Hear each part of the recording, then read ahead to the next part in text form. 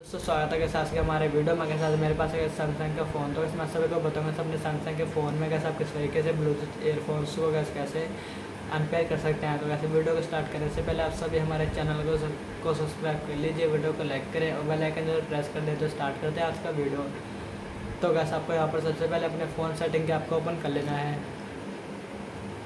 फिर इसके बाद कैसे आपको यहाँ पर ऑप्शन मिलता है कैसे आपको कनेक्शंस का तो कैसे आपको कनेक्शंस के ऑप्शन पे क्लिक कर लेना है। और कैसे आपका अपने एयरफोन्स को ऑन कर लेना है। फिर कैसे मैंने ऑन कर रखे हैं, आपको भी ऑन करना है। फिर इसके बाद कैसे आपको ब्लूटूथ के ऑप्शन पे क्लिक करना है, जैसे कि कैसे आप देख सकते हैं तुम्हारे कैसे ब्लूटूथ एयरफोन से कैसे पहले से ही पेयर हैं तो वैसे पेयर होंगे, तभी तो अनपेयर करेंगे ना।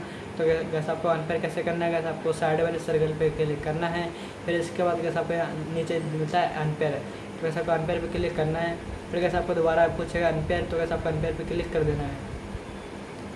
तो कैसे आप देख सकते हैं कैसे अनपेयर क्लिक होता है, कैसे हमारे ब्लूटूथ एयरफोन से कैसे अनपेयर हो गया हमारे सैमसंग के फ़ोन में। तो कैसे आई होप कैसे आप सभी को वीडियो पसंद आई होगी। तो कैसे आप सभी हमारे चैनल को को सब्सक्राइब कर लीजिए, वीडियो को लाइक करें और बेलाइकन से प्रेस कर लें। तो कैसे आप सभी से मिलते हैं नेक्स्ट वीडियो में, तब तक के लिए कैसे आप सभी को नमस्ते।